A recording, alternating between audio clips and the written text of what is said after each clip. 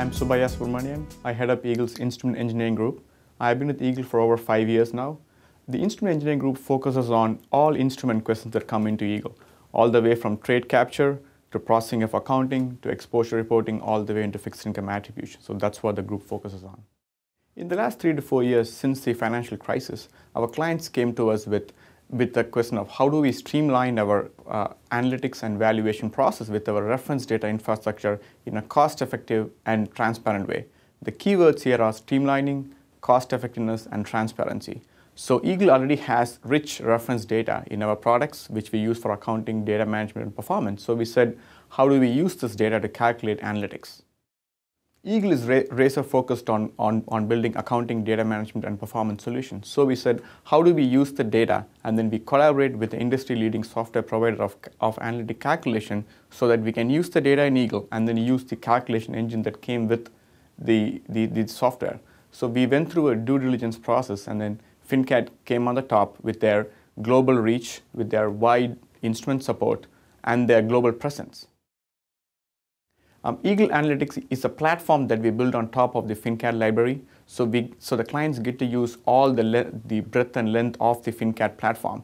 So clients typically use the Eagle Analytics platform to be an alternate or a validation source of the analytics and valuation, with, which otherwise they would get from a vendor. But now they get to use the data that is in the warehouse, but then calculate analytics with their own data so they can use it as an, as a validation source or, a, or an alternate source of analytics and prices. Uh, we have been in the Alliance program with Fincad for the last two years now, and it has worked really well for Eagle. Our clients come to us with complex private placements or instruments that, that they have bought that they look to Eagle to, to model it in Eagle Analytics. We in turn work with Fincad support, which is my personal favorite, and then we come up with the right valuation and, and the quantitative analysis so that we can, we can arrive at the right analytics for these complex instruments, which we in turn play back to our clients. Uh, in the past, analytics and exposure reporting has always been on the sideline. It's always a special process where clients might get this data from, from vendor or other data, pro, uh, data providers. But now this is becoming more and more mainstream where clients expect an integrated approach where they want to use the data that they already have and then calculate analytics and prices based on that. So they want it to be part of their regular day-to-day -day process from a technical and an operational perspective. So that's where we believe our, our alliance with Fincad with the Eagle Analytics is well suited to, to meet that need. Fincad has a wide coverage of instruments in terms of the asset types they, they cover and also the breadth of countries they cover.